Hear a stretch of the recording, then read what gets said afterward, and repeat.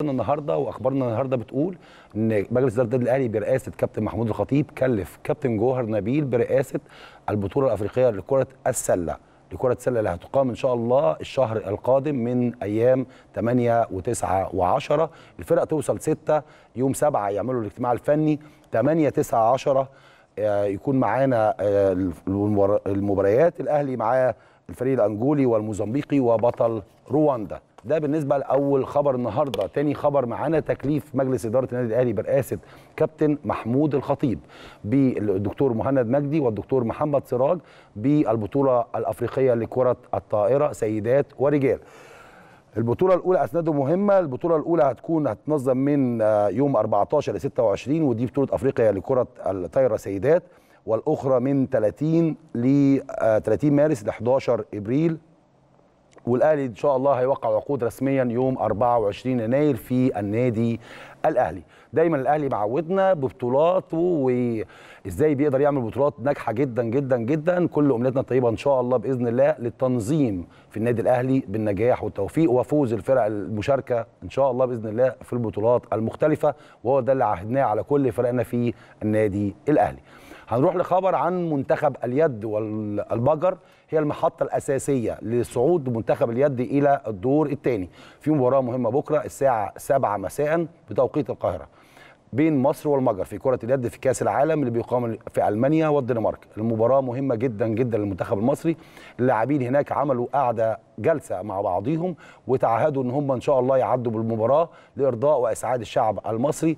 محطة مهمة جدا لمنتخب اليد بعد الخسارة من قطر والخسارة من السويد لكن امبارح الحمد لله منتخب يد قدر يعدي مباراة الأرجنتين ويفوز عليه ب 22 20 منتخب اليد بيضم سبع لاعبين في صفوفه من النادي الأهلي. عصام الطيار حارس المرمى اللي تألق تماما في مباراة الأرجنتين امبارح وقدر يصنع الفارق. بنشكره شكرا جزيلا لأن هو فعلا يستاهل كل ده. وهو بصراحة من وجهة نظري كان رجل اللقاء الأول. إسلام حسن إبراهيم المصري أحمد خيري وعمر الوكيل عبد الرحمن فيصل وعمر حجاج. مايكروفيتش مدير فني النادي الأهلي لكرة اليد. بدأ يرفع الأحمال التدريبية. خلاص الدوري كمان ثلاث أسابيع. الفرقة بتخ... المنتخب المصري قدامه تقريبا أسبوع 10 أيام يرجعوا من بطولة العالم. لكن النادي الأهلي عنده البطولة الأهم بالنسبة لجماهير النادي الأهلي في الدوري العام بداية الدوري المحترفين مرة ثانية هيرجعوا على طول يوم 7 2 لسه النادي الأهلي عنده بطولات كتيرة جدا. دوري المحترفين كأس مصر السوبر الأفريقي مع نادي الزمالك وبطولة أفريقيا إن شاء الله في شهر أربعة أو خمسة. الأهلي بيضم هنا ثمان لاعبين بزيادة سبع لاعبين في منتخب مصر ويوسف معرف في نادي آه، في عفوا في منتخب تونس. الاتحاد العربي لكرة الطايرة يحدد مواعيد البطولة العربية في أيام. الاتحاد العربي قدر يحدد ماتشات النادي الأهلي خلاص 28 و27 عفوا و28 و29 يناير القادم. البطولة هتقام في استاد القاهرة بطولة عربية لكرة السل لكرة الطايرة سيدات. النادي الأهلي إن شاء الله هو حامل اللقب يقدر يفوز باللقب. المباريات بتكون صعبة جدا جدا.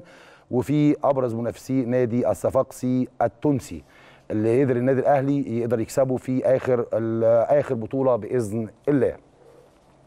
الأهلي يهزم القناة لدوري كرة الطايرة رجال. الحمد لله فريق النادي الأهلي امبارح قدر يفوز 3-0 على نادي قناة السويس. كانت مباراة قوية جدا بين النادي الأهلي ونادي قناة السويس لكن النادي الأهلي قدر يعدي المباراة على طول 25 13 و25 16 و25 22